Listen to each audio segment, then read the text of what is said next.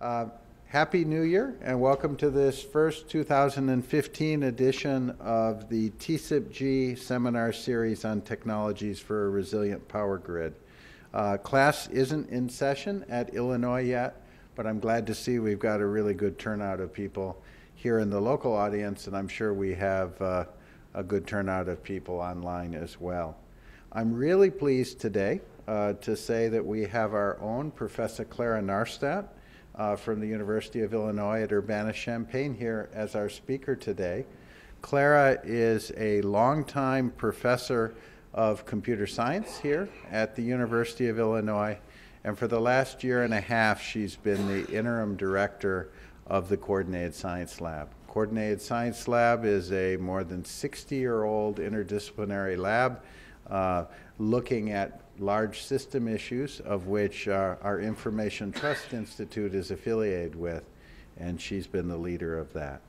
Um, I could go on and, and read about her many, many awards, uh, but I think I'll give all the time to her, um, and she's going to talk about electric vehicles and their impact on trustworthy power grid informatics. So thank you very much, Claire. We're glad to have you.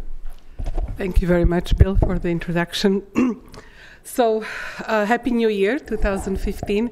And um, what I want to talk to you about uh, today is um, uh, some sort of thoughts uh, that uh, I have on electric vehicles. We have done some research on it, but I have actually attended. Uh, we have a, we had a paper on IEEE International Conference on uh, Electric Vehicles, 2014 in uh, December in Florence, and uh, it was my first time at the conference on electrical vehicles, and uh, it was just fascinating to me what type of problems uh, that particular community currently is truly uh, looking for what are they planning for. The planning is 2050. It's not 2020, 2025, as I currently see in computer science, is 2050. And so I actually, rather than talking deep about some research, I really want to actually share with you some of the uh, excitement I think that was at that conference and some of the issues, challenges that researchers actually pointed out uh, uh, in terms of electrical vehicles and other stakeholders that are surrounding electrical vehicles, and power grid and smart grid being one of them. And I basically then tried to map actually some of the issues that the community there was talking about into the power grid informatics that actually currently we are looking at, and particularly some of the trust issues. So it's going to be quite high level. I thought that more appropriate. I want to really engage in discussion um, and um, uh, just want to let you know what currently is buzzing.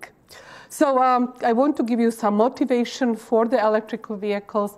Uh, but then actually, I want to talk about some of the challenges that the community is talking about in terms of electrical vehicles, particularly having been discussed at the really most recent conference, IEEE conference on electrical vehicle. Wireless charging is big issue. Electrification of roads, uh, batteries um, uh, are and standards are being currently very much discussed. And then actually there were several sessions um, that also talked about smart grid and electrical vehicle, smart grid and ITC, NNN. So, um, so a lot of very interesting sort of uh, sessions. If any of you are interested in some of the details that I'm sort of just pointing to, um, I have proceedings, so I'm happy to share the proceedings, and you can get all the details of the, in the papers. So, um, the motivation for electrical vehicles um, uh, is um, not so much, uh, it was, was very surprising to me that uh, you know there is currently going to be uh, more electrical vehicles because the government says so. But um, actually, uh, the reason truly is pushing is the incredible pollution that currently many cities are seeing. Beijing was put forward, and we know that that's a, truly a problem. But what was actually surprising to me is that Paris currently uh, is having major pollution problems, and they actually introduced the same system, for example, than uh, Beijing has, that the odd license numbers are coming on Monday, Wednesday, Friday, and then sort of the even numbers, license plates are coming on the other days. So many of these cities are truly seeing um, um, uh, pollutions, and so electrical vehicles, or at least hybrid electricals, and, and, in the long term, as I said, they talk about 2050 is truly about um, uh, electrical vehicles. And uh, various statistics have been put forward, uh, uh, and you can see here currently on the, uh, on the chart actually that at least until 2017, uh, the predictions are pretty solid. Of course, after that, people don't really know, but there is an increasing popularity of electrical vehicles, um, and this is currently um, definitely North America, which is the blue one, then the green one, basically it's West Europe, but in Asia, major. I mean, if you currently look at some of the Asian cities, especially in China, I visited a couple of cities, uh, pollution is an issue, and uh, electric vehicles seem to be one of the directions to uh, fight that. The other very interesting aspect that uh, I have seen, particularly at this conference, was um, many stakeholders. It's not just electrical vehicles. I actually first saw it's going to be electrical vehicle uh, manufacturers, you know, BMW and uh, Volkswagen and Mercedes and uh, Toyota and Nissan and so on. Well, uh, I could not have been more wrong. I mean, there have been car manufacturers, and they have been sort of the center. Uh, and these were basically ca- uh, manufacturers not only of the cars, but also of trucks. Electric, uh, electric trucks are currently becoming very popular to, uh, as a part of discussion. Electric buses, motorcycles. Actually, there were some really interesting exhibitions at the conference. You could actually see and sit and uh, touch uh, some of the electric vehicles, electric motorcycles, and of course, electric trains are already there.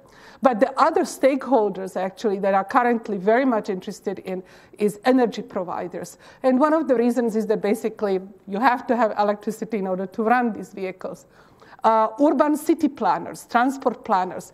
Um, currently, uh, where are you currently putting all the uh, sort of charging stations, for example, logistic planning, and the whole electrification of infrastructure? We will talk about that. There have been IT, uh, Cisco has been there, IBM has been there. Uh, truly, sort of the IT organization, IT infrastructure needs to be there.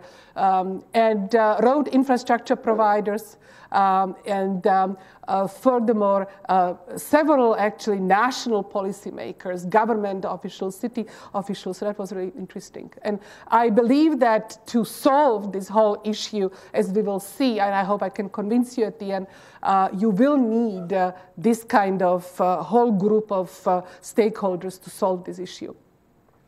Um, also, another interesting aspect, especially from TCIP-G point of view, as we are currently exploring actually electrical vehicles as very important appliance, if you want, um, uh, for, for Power Grid. Um, I was actually very curious who are currently some of the players who were actually there. Uh, so definitely from the car companies, Toyota and Ford had uh, several research initiatives. Uh, from the IT telecom, actually, I was very uh, pleasant suppliers. Qualcomm currently is big time in wireless charging, Cisco, IBM. Uh, universities, there are several actually universities, particularly Ohio State and Clemson University, that have actually uh, major electrical vehicle transportation centers. Uh, but also University of Michigan, of course, and um, other sort of universities in California. Um, big player actually in uh, uh, in United States in electrical vehicles and the uh, power grid uh, as well as IT infrastructure is National Labs Oak Ridge, Ridge National Laboratory. And there were actually from the European side, there were several people from transportation uh, uh, and um, cities uh, and, and transportation service companies. So let me uh, now very briefly talk about uh, some of the challenges of the electrical vehicles that um, I see and um, have been discussed. So um, the big goal is actually electric uh, mobility beyond 2020. the goal is truly the eco-friendliness, but also safety. People are believing that these electric vehicles will be safe, will be comfortable, and will be efficient. But for that actually to achieve, and as I mentioned, they talk about 2050, you need electrical vehicle charging. And there are currently three major uh, directions that electrical charging is going uh, the charging stations, but then, actually, now as wireless charging is becoming more and more uh, affordable and efficient, um, static wireless charging and dynamic wireless charging are currently uh, truly being uh, experimented with and deployed. And I will talk about examples. What I was very surprised actually was uh, electrification of road infrastructure has been, uh, and Oak Ridge actually National Lab is very uh, active actually in uh, uh, really experimenting. I will put some numbers uh, out there. They actually provided. Um, in space of electric vehicles, actually, um, I am not an expert, so I was just capturing some sort of bits and pieces, uh, trying to again tie it to my domain, of on the power grid informatics. But it was battery, especially the size. Uh, the, largest, the larger the battery, the, the more expensive actually the car is, the weight, temperature, capacity, all. And then actually another sort of issue that was discussed with respect to cars and well, was, was speed.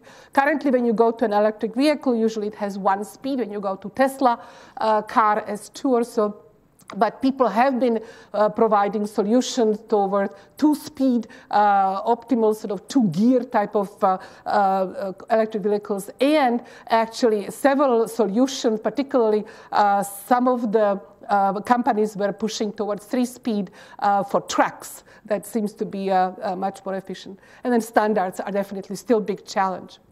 So let me talk about some, I think, interesting aspects about electrical vehicle, but charging stations. So, as you know, in the United States, uh, through uh, President Obama initiative, there is a major push by 2020 to have a really large millions of uh, these hybrid uh, via electrical vehicles on the road. But um, to actually uh, achieve this, you really need uh, uh, a large and sufficient number of uh, charging stations. Um, so um, uh, currently, uh, the anticipation that these hybrid electrical vehicles will go down in their cost. so Volvo, for example, had some numbers. Actually, it's a Swedish car company that does electrical vehicles now. The revenue will increase and the cost of the cars will go down. Pike Research actually forecasted um, how many sort of 1.5 million charging stations in the United States, 5.1 million uh, hybrid uh, vehicles in the United States, and Gartner actually predicts the cost going down by 7%. So the one car that was currently there uh, and uh, the charging stations are currently uh, prepared for it, that was sort of interesting for me in Europe, was the BMW i3 car. Uh, and some of the parameters were important, and they are important for the metadata that currently we will be capturing as uh, information infrastructure will grow around the electrical cars. Uh, what these electrical cars care about is how many kilowatts they need in order to pass 100 kilometers kilometers. Um, how fast are they acceler- uh, accelerating? So acceleration time from zero to 100 kilometers takes 7.2 seconds, right? Those are some of the parameters that they are selling them. They want to report the, to the IT infrastructure, uh, the number of speeds I already mentioned, and also number of miles per battery. If you have a full charge battery, how long does it take actually for you to get to a particular destination B? So some very interesting discussions were, so electrical charging stations are currently quite developed technology. They, people know how to do that. Um, but uh, the discussion was actually much more around the politics and uh, business aspects.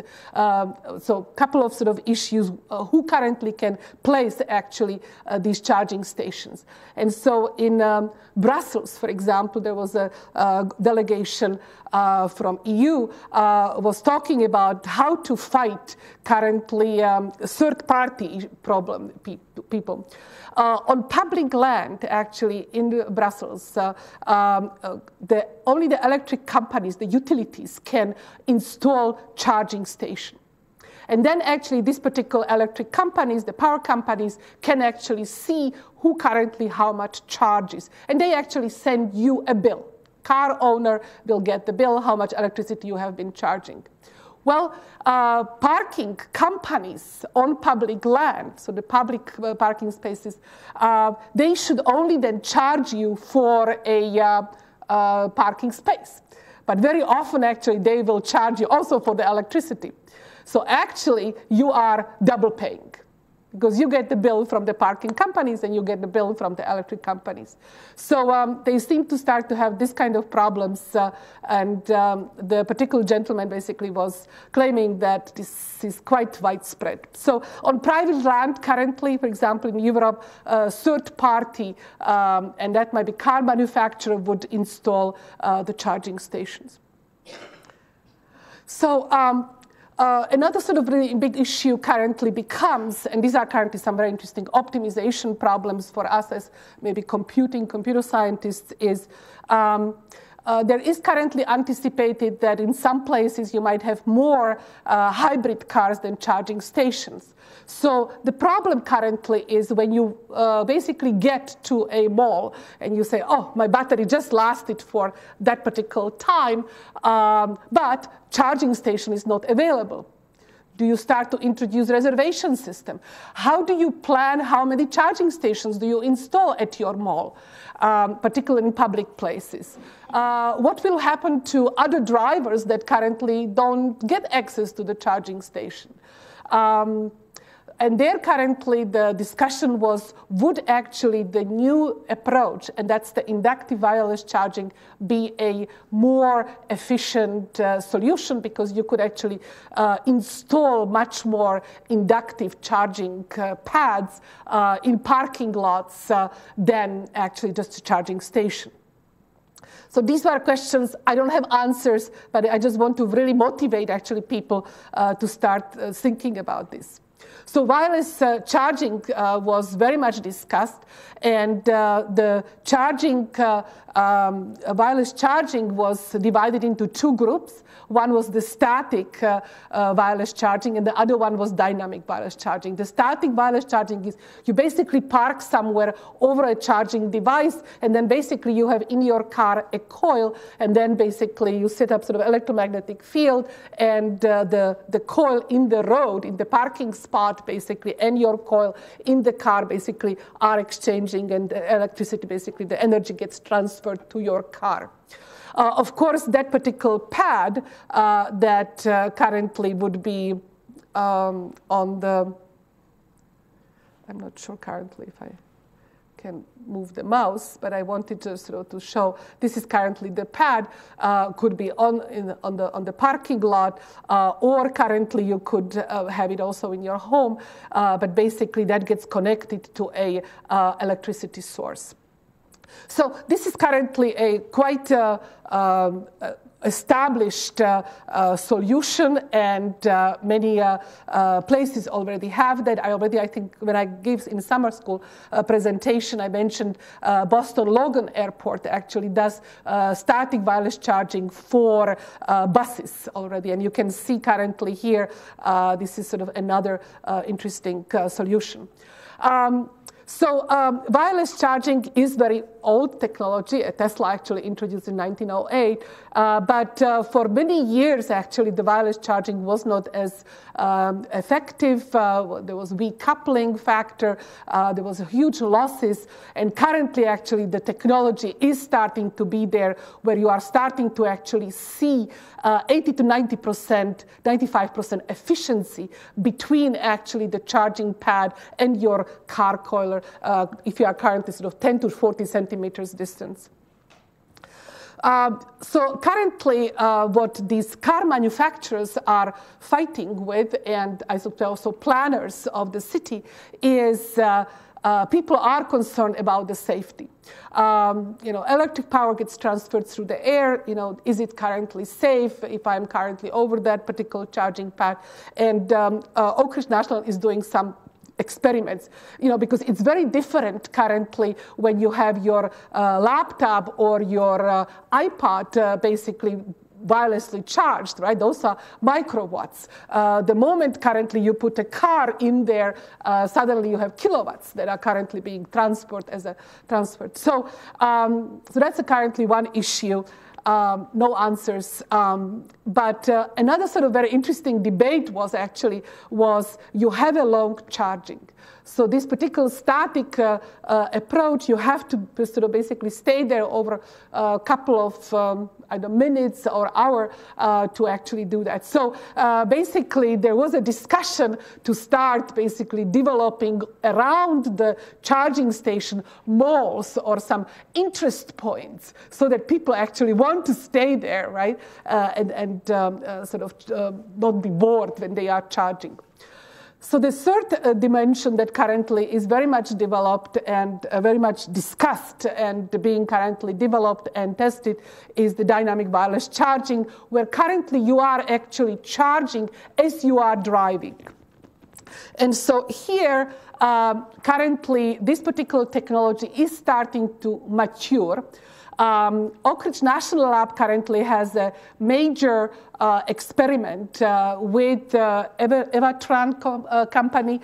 Uh, there is with the Clemson University, which has a major uh, center on electric automotive research, in particular electric cars, and Toyota company, and they are building actually this car that currently can do dynamic wireless charging.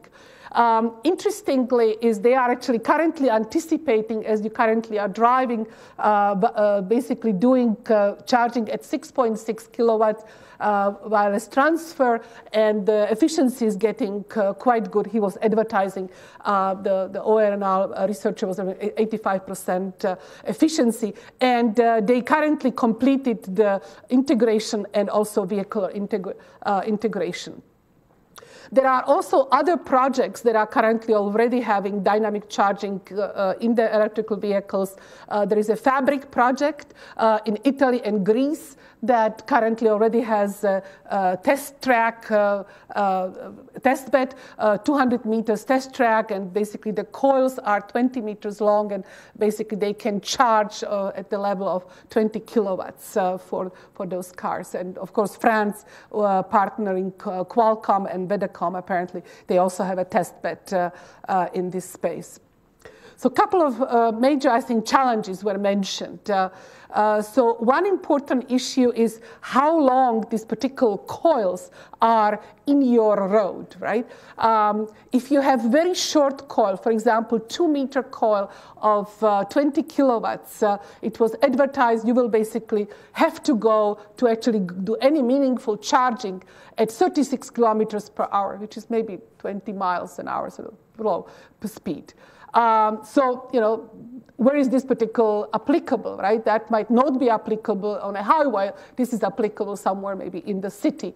Um, uh, if uh, one goes at higher speeds, like 108 kilometers, uh, and you have short coils, you have a very, very short uh, charging time, right? So that's currently uh, a major issue.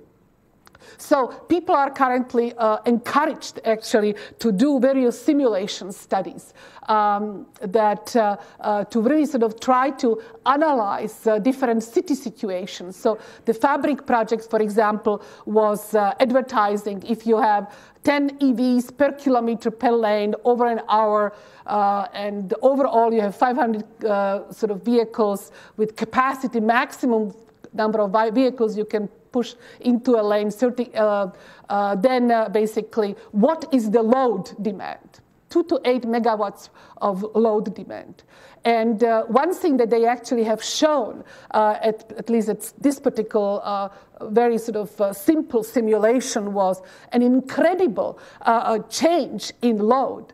And so they actually uh, turned to the power grid companies and, and, basically said, well, how are you going to be dealing with this particular very variable load? you have, you, we truly need somehow load shaping or load shaving, um, particularly currently if we uh, put uh, some uh, electric sources close to the roads. Uh, uh how are these going to be particularly organized and planned for average load, for peak load, uh, and so on. So there were basically very interesting uh, ideas thrown out. For example, that along the roads you would have solar panels.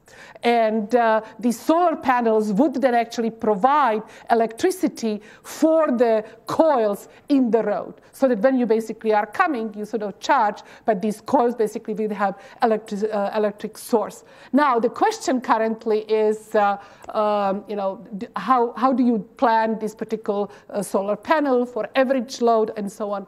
Um, so that's currently a, a big sort of discussion. Uh, further challenges for the dynamic wireless charging was communication latency, as you currently, all of these coils will have sensors. Um, it's all sort of IT uh, connected uh, infrastructure, cyber physical system. And so, how can you currently get information out of them, coordinate all the information, um, and so on? So, infrastructure issues for power grid distribution were discussed. So overall, dynamic wireless charging is the theme of the day uh, because currently people do feel that if dynamic wireless charging in the roads would have that kind of capabilities, your vehicles will have smaller batteries. And therefore, your vehicles would be cheaper, right? Um, you will have extended driving range right? You don't have to worry about that. That's currently my battery of 25 kilowatts basically get me just from here to school. And in school, if there is no charging station, how do I get back? So um, extended battery life, energy efficiency, people talk about comfort, user was a big, big discussion point, uh, increased mobility and no visual pollution. The really big, big cons in this particular case is uh, uh, the expensive infrastructure. So let me talk about infrastructure.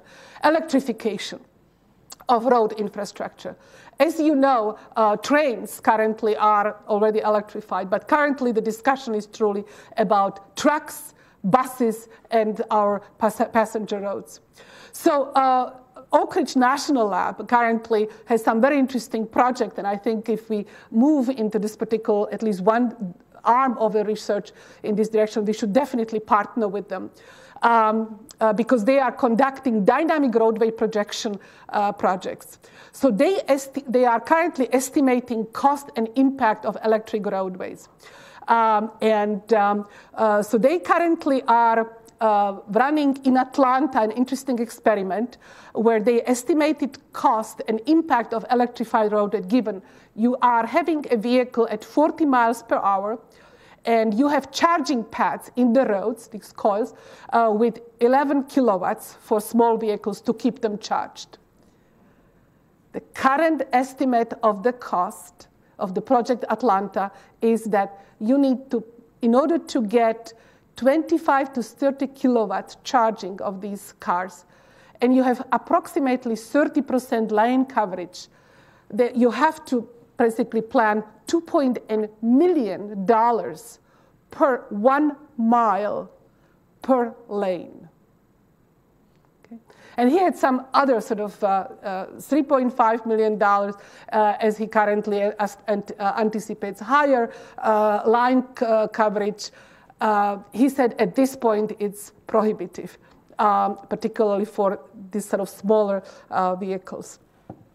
So currently, actually, uh, the Oak Ridge uh, uh, National Lab researchers actually were much more um, predicting that. Um, uh, we are going to see the hybrid. Uh, maybe we will see the um, uh, charging stations and we will see the static wireless stations with um, some um, business cases being built towards 2050 uh, for dynamic wireless charging. And the particular regions that they are currently going to build roads, um, particularly for buses, uh, is in LA, Long Beach, uh, San Francisco, Oakland, San Diego area, and Atlanta. And the baseline basically currently is around uh, developing 100 kilowatts and then 30 kilowatts for the wireless uh, sort of uh, charging, dynamic wireless charging. So, and buses are currently meant first to go, and they are thinking that by 2025 they should have, because of the buses going very stable routes, they are thinking that they can start to electrify particular lane. In many cities already buses have their separate lanes, especially in big cities. So they think that that might be sort of feasible, uh, especially if they can start to show decrease of the cost and uh, decrease of the pollution. So currently, some of the really major challenges, cost of the dynamic wireless charging uh, on the vehicle. Um, what's the size of the battery?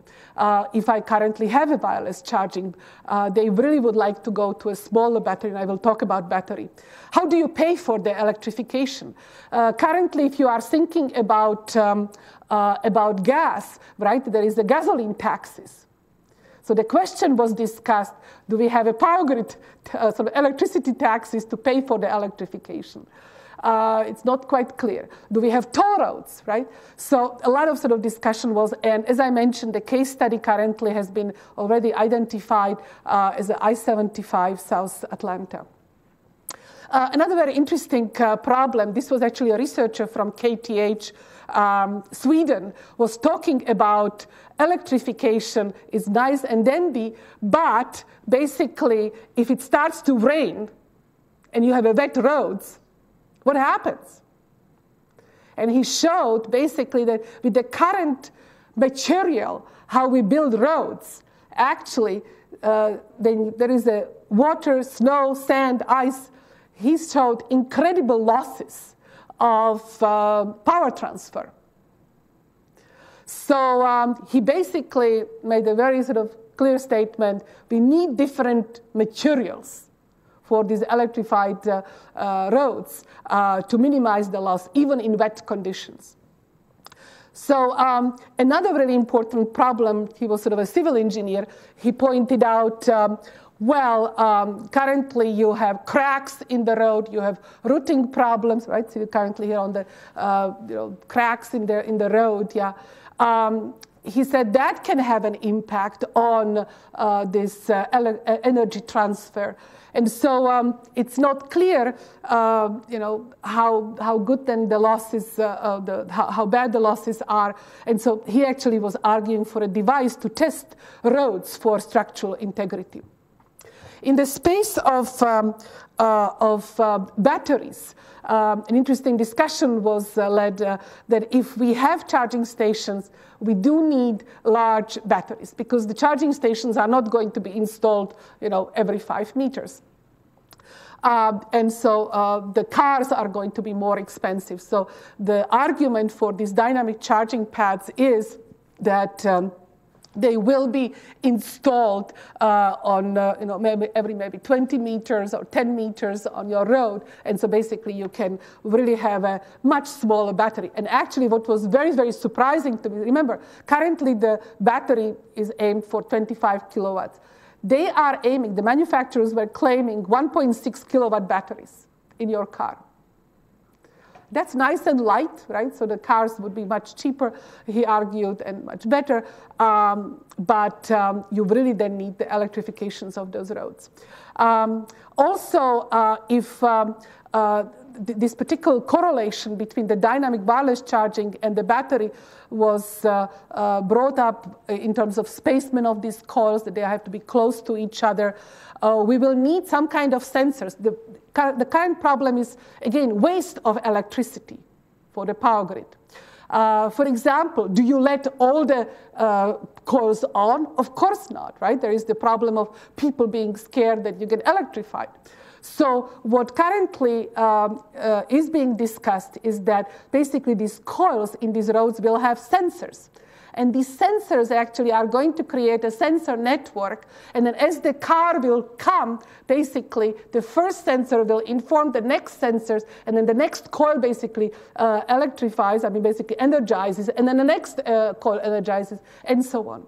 So with sensors, one starts with the first coil, and the next basically fires up dynamically. And once you basically pass down, basically the coil goes off. So energy savings, uh, since uh, coils will not be needed, uh, you know, it's, it's, sort of needed. So there's again um, the whole issue of uh, signals, uh, sort of IT issues, uh, sensor networks, and this electric intercorrelation. Uh, another very big issue is cost of battery, and I already mentioned that um, that uh, if you currently are looking at uh, $250 per kilowatt uh, hour, um, so, and this is currently not likely to happen uh, by 2020. So um, uh, currently the prices are going down, but um, not fast enough. Actually, uh, many, several of the speakers have uh, admitted. Uh, another very interesting problem, actually, and this is again currently also uh, impacts optimization problems that actually we are working also, in, in, in computing, is uh, optimization of energy and thermal management. Uh, uh, cars are currently incredibly complex cyber-physical systems. Uh, they have the major sort of battery electricity motor uh, type of uh, circuit, but then there are all kinds of other sort of systems, auxiliary system, electric systems. Uh, they are emitting um, uh, sort of heat and so on, and that all has to be basically coordinated and integrated properly uh, so that one can actually increase the driving range. Um, the one interesting aspect that I thought, the same way as in TCIP-G, when we started to look at uh, uh, the various uh, um, transmission uh, networks, we looked at some of the uh, various standards. Uh, currently, the standard committee is far in terms of uh, wireless charging, the conductive sort of inductive charging systems. Um, they are currently already are talking about uh, even integrations of the electric vehicles with the RFID, with the communication, the DSRC communication channels to actually enable services like vehicle navigation, um, placement of electric charging is being actually mentioned um, and uh, vehicle diagnostics uh, and payment solutions. So um, uh, in that particular space, some of the standards start to provide some uh, directions, which was really good to see. Also, currently, the computing and communication, uh, computing uh, ISO um, uh, type of group and the IC are developing joint standards to, do, to go towards uh, interoperability and safety requirements one thing that I actually asked, and uh, we have sort of had a discussion, is if there is any effort, since these are such complex cyber physical systems, if there is any discussion on uh, cyber attacks, on uh, security, on authentication. And the answer is not yet, uh, but they are currently starting uh, in this domain. So, um, in the space of uh, challenges of the electrical vehicles, it's the cost. Uh, number of vehicles going up. Charging technologies must improve. Weight batteries must go down. Cost of electrification, standardization. There were two other major issues discussed, and that was automated vehicle driving and also connected vehicles um, to actually see how currently IT and power grid can uh, deal with if uh, uh, cars get basically connected, they help each other uh, in terms of uh, power charging. So, um, in terms of uh, power grid informatics, I first thought that I will define the term um, uh, as uh, usually power, informatics gets defined, but it's basically a study um, and about structure, algorithms, behavior, interaction of power grid systems and uh, artificial cyber systems within to, to, basically store, process, access, and communicate information. And uh, this currently very well sort of fits in into this whole space around the electric vehicles. And of course, as we want trustworthy uh, power informatics, we also need to have the uh, processing of the information uh, in real time, uh, reliable, secure, and privately. So um, the components currently that have been uh, very much uh, uh, in discussion in terms of IT extension and sensory extension is the roads, uh, major sensors uh, in the road, but also then uh, along the roads, basically. It's not only the energy sources, generations, but also various um, wireless access points, processing points, and so on. So the roadside units are currently uh, very well sort of uh, uh, accepted as a, part of the road infrastructure. In the electric vehicle cars, um, uh, people talk about uh, monitors uh, like the smart meters that currently are going to monitor, almost like a black box, monitor charging levels, usage levels, uh, and of course then all the other uh, type of functions. And power grid utilities, we know those. Uh, they basically currently have all the IT, cloud computing, storage to store and process all the sensor information. So we will actually have to get out the, the information, the sensor information out of those cards, out of those roads, um, into these utilities to uh, actually process it. Uh, and of course, there are also, uh, um, as uh, we know, uh, many, many third party services that currently want to actually fit into that, to actually uh, be the IT providers. SAP was there. they have been very much positioning themselves almost like the Siebel, Siebel systems in the past, but SAP is a similar company. It was an office company. Now they are positioning themselves as the uh, go-to between power grid uh, utility companies and the car companies. So a uh, couple of very interesting uh, challenges were discussed in terms of uh, processing. Um, to provide actually IT services um, for the electrical vehicles um, algorithms uh, to uh, provide accurate range estimations, to provide navigations, uh, to provide assignments of charging stations. I mentioned the reservation capabilities of uh, charging stations, uh, reservation uh, planning, actually algorithms for when particular buses could actually use static wireless charging stations uh, and, as I say, placement of charging station. Particularly, the city planners have been uh, asking actually for algorithms uh, when they currently provide certain parameters how to where to pl- place charging pads and charging stations. I will talk about a bit more. Um, seamless integration uh, of the information. Currently, actually, if you look at, uh, and we know it from other domains, power grid, uh, then uh, electrical vehicles and road infrastructure, everybody has different representations of information. Um, I just looked at some of these uh, uh, standards, and they are very different than, for example, what we currently are doing in, in power grid. So I'm currently wondering as well, how do we currently, again, reconcile the different information representations, different communication technologies, uh, different um, uh, digital and energy storage capabilities. And of course, uh, as you are currently have a uh, electric mobility, um, you will see very different security and privacy uh, capabilities and demands. So from the big picture point of it, it's going to be big data problem um, because uh, people want to do cost benefit analysis. They want to do the whole environmental life cycle assessment. And so, in the case of big data, we will have the volume, we will have the velocity, we will have the variety, we will have the velocity, we will have the visualization problems, all of the problems of big V's for, for big data in this particular space. And they have been brought forward uh, and also at this conference. Um, in case of uh, charging concepts, uh, very much real time is required.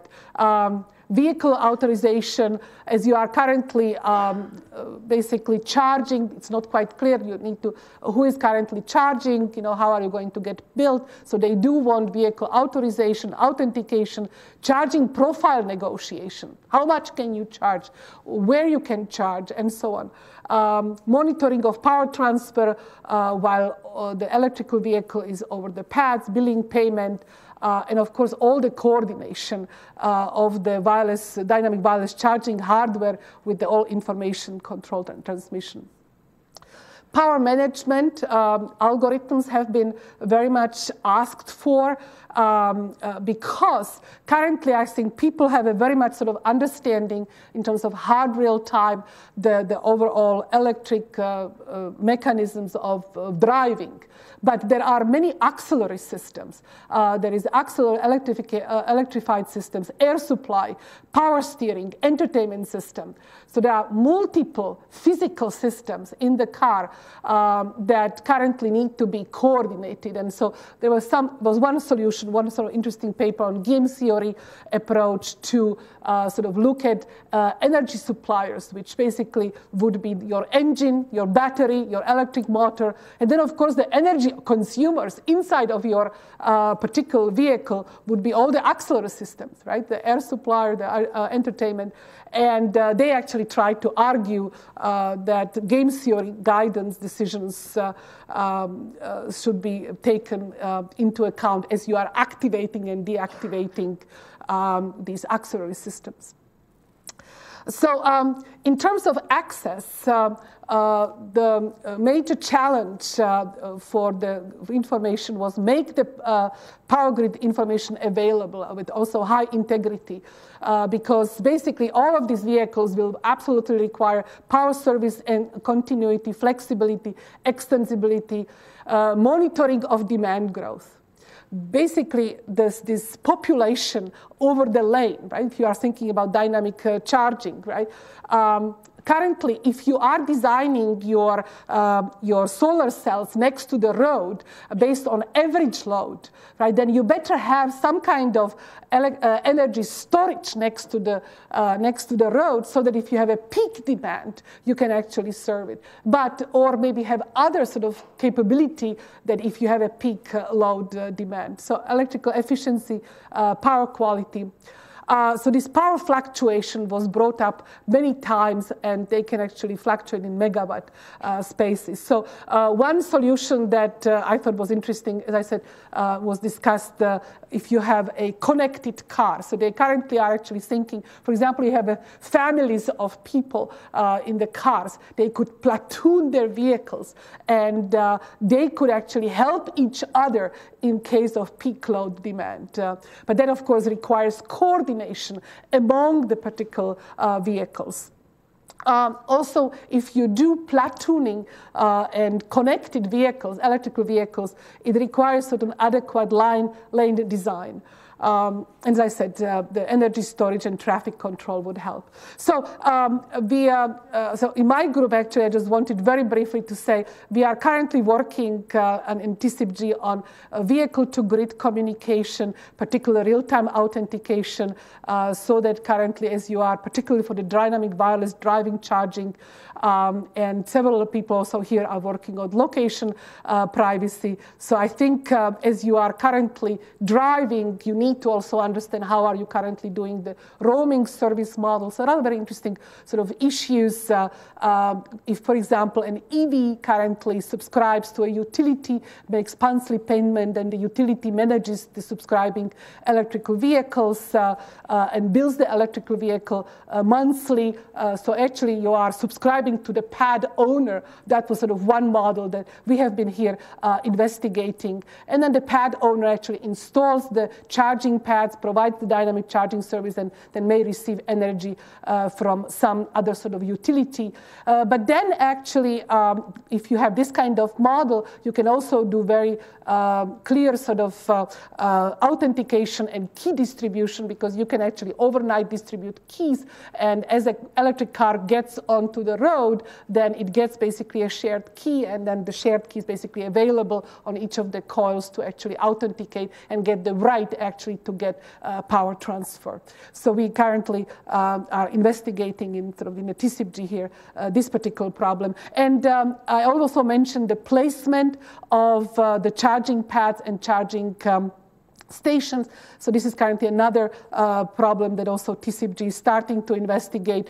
Um, usually it's modeled as a graph problem um, in the power grid sort of informatics. And again, it's important currently that you uh, label what is currently important for you. For example, for a city planner, if it's the amount of um, kilometers uh, that currently you have to go from uh, point A to point B, and what is the traffic flow. As I mentioned, the occupancy on the particular uh, flow uh, on, on the road is important. And the question then is uh, find the optimal location for charging stations uh, and uh, charging pads. Uh, and constraint usually will be for the city how much money you have to actually put for charging stations or charging pads. They are going to be expensive. And so one possible sort of solution could be you pick just basically the most busiest streets of electrical cars cars, you basically put the charging pad and then basically make the rest of the nodes candidates for uh, the charging station. And uh, uh, particularly if you have multiple of those, you have to then run, we have another algorithms to actually uh, decide based on which particular charging station is the best one. But as I said, I didn't really want to uh, go into details of these algorithms. I wanted much more concentrate on the challenges of uh, this particular whole space because there's just very, very rich space of problems for us, I think, uh, in computer science, in uh, power grid engineering, and uh, electrical engineering, basically, to work on. So uh, the plans for 2050 uh, is uh, truly to get the dynamic wireless charging in develop new materials, heterogeneity. That was actually several keynote speakers, basically, particularly from the car companies and other companies, basically have been talking about this.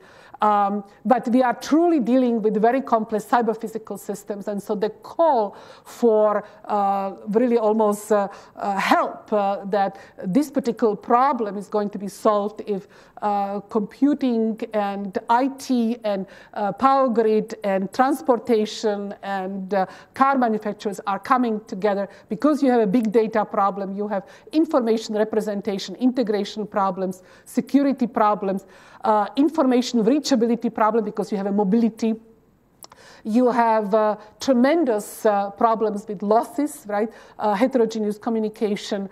And, and, of course, I haven't even talked about uh, there is a whole integrated social vehicle and road network problems. You, you are really seeing um, convolution of very, very different networks I haven't talked about people, but um, that basically drives as well a lot of problems that we are interested in. That concludes my presentation.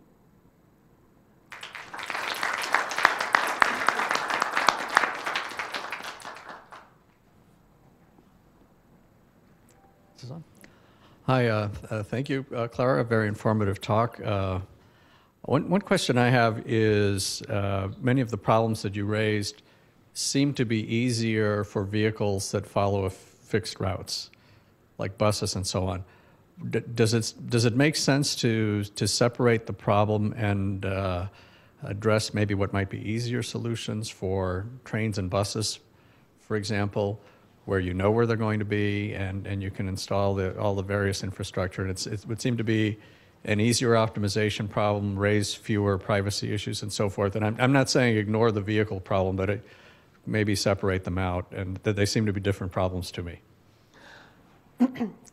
Yes, uh, and uh, this was actually, when I mentioned the simulation, right, uh, that was actually mentioned that currently when uh, people are simulating, they are simulating these particular uh, sort of single lane type of uh, problems. And the call was there, please start to look for also much more complex scenarios that uh, they're basically, for example, uh, there was a discussion, well, if I do have two lanes, right, switching lanes, for example, you know, what happens? Uh, uh, how do you keep state that you have currently switched lanes, right?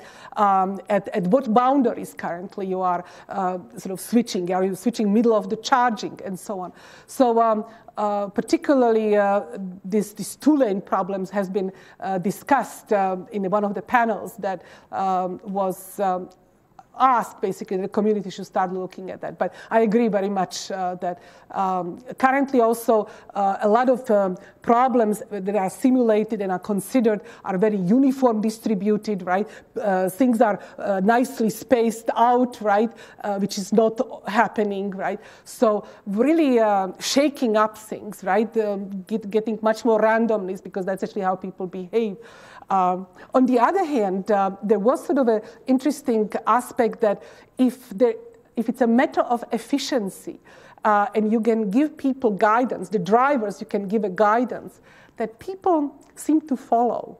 Right? So that was actually an interesting concept that um, I'm not sure currently if people have done studies, you know, how much you can take some kind of predictability or guidance and that actually meant, uh, led also to the discussion of the automated driving. I haven't talked about automated driving, but this was a big discussion.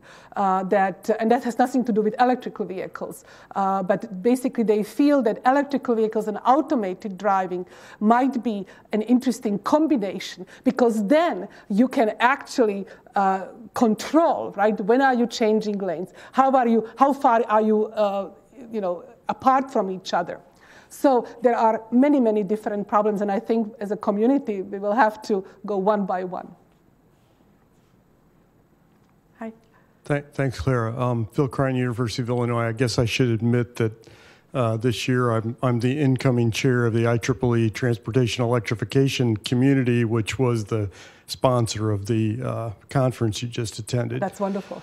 Um, I, want to second your point that the cyber physical systems and integration are, are absolutely the fundamental challenges. You know, the challenges, I don't want to trivialize them, but we know how to make powerful electric vehicles. We, we frankly know how to do wireless charging. We know how to do uh, all of the specific technological pieces. But doing the system level integration and the scale up is absolutely the biggest barrier. Um, and part of the part of the challenge behind that actually is getting perspective. So, if you indulge me for a few moments, I want to give you three examples. Uh, one of them you mentioned was the 2.8 million dollars per mile. Yes. Well, if you ask the city of Champaign how much does it cost to replace a lane of pavement on Green Street for one mile, the number you get will be more than that. So the, the question of what is the true incremental cost, and if we have these devices in hand, you know, what what is the extra as we go through sort of conventional maintenance cycles? Uh, you get a much different answer.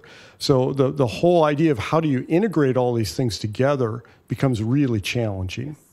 The second one, uh, you, you, had a slide, I think it was probably about slide number eight, um, where you showed one of the um, charging stations. I'm, I'm, maybe I'll make you go back there, I don't know. Um, yeah, there you go, slide nine. Uh, so you see at the top there um, a, a, vehicle charging station. Uh, and there's a lot of comment about the infrastructure and the cost of that. Now, granted, we're indoors, but I look around the room and I see lots of charging infrastructure, and some of you are using it, by the way, right now for laptops. Uh, there's no particular reason why every parking space in any parking garage in the United States couldn't have an outlet. And this is not expensive. Okay. Uh, we can find ways to make it expensive, and there's some beautiful examples right there, uh, or we can find ways to make it cheap. Um, and and somehow the trade-offs aren't aren't quite there yet. Right. Um, and I, I, think the other thing, though, that I will emphasize is is the idea of trying to optimize within a vehicle and the, the energy usage. You know, those challenges you you raised are, are very substantial because there's a variety of things. And when you go to these new technologies, you know, how do you keep the windscreen clear? Uh, how do you uh, make the, the driving experience uh, readily available? But of course, the car itself has storage on it, so you have this time buffer that you can always work with that helps so much.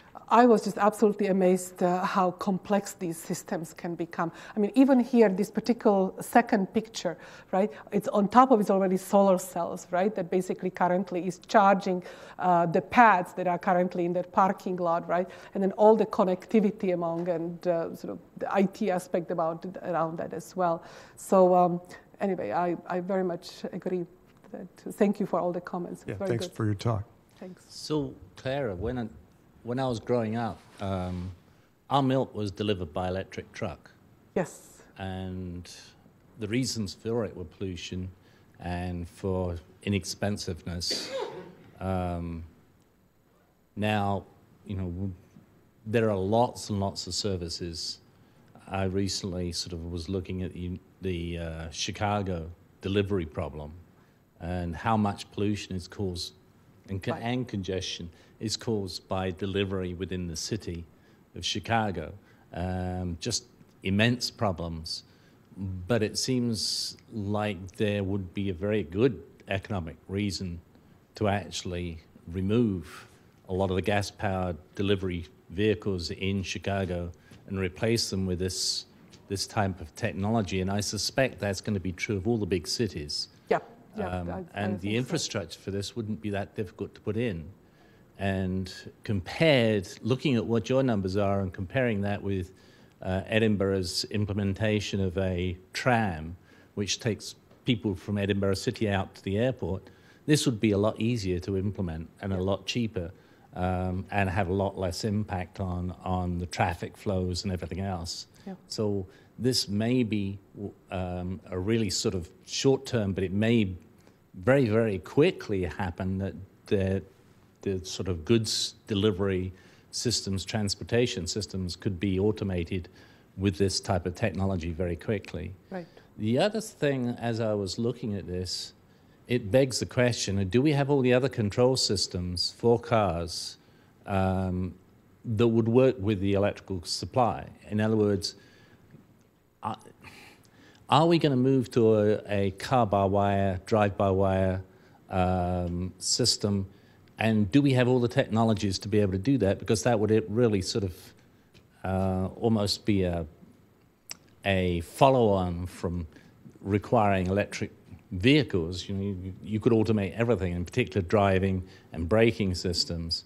And I'm not sure some of that, that uh, research is complete, and I'm, I'm sure that has lots of security and safety issues Right, yeah. that would be Uh, very I don't know. I mean, uh, currently, actually, one sort of other interesting aspect was also uh, discussed uh, this, this whole wireless infrastructure. It's not only just the wireless power charging, but then also wireless communication, but also the impact of the electromagnetic fields, right, on the wireless in communication, for example. Uh, that was um, uh, there was sort of one uh, communication talk actually about that. Um, so. Um, will be interesting. I, I'm actually currently very much following, you know, at what particular frequency are we currently communicating the IT information versus at basically how currently the electric uh, sort of development happens. Are there some kind of um, impacts uh, on, on the information quality, right, that we are currently? But um, uh, at the higher level, right, it would be all software, right? If you uh, think about that, right? So the roadside units, and you basically just communicate road services and so on. The cars are, I mean, somebody was at the talk uh, saying by 2025 they are really thinking about very smart electrical vehicle, uh, and it's basically a running computer. So um, it's probably now already, but um, they are further uh, aiming for. Okay, uh, well, thank you. Um, so, uh, just to, to wrap up, uh, once again, let's thank the speaker for a very uh, wide ranging and informative talk. Thank you. And uh, uh, next month, we will have the, uh, the, the public seminar will be given by Ed Van Hoos. Ed Van Hoos was uh, formerly the IT director for the Association of Illinois Electric Cooperatives, and now he has joined a, a particular cooperative. Uh, electric cooperatives have a large geographical footprint, even though they don't serve the most customers. But in the U.S., they have the, the largest geographical footprints, and in particular, like a, a lot of the uh, rural areas in the state of Illinois and in general. So they have uh, interesting uh, IT and IT security problems, and we've helped the uh, Association of Illinois Electric Cooperatives, and Ed has been a good friend over the years. So we look forward to that talk. Um, but w- once again, thank you, Klara, and uh, uh, good, good topic for the future to, uh, to keep thinking about. It seems like we're in at a, at a very good stage on this uh, research area.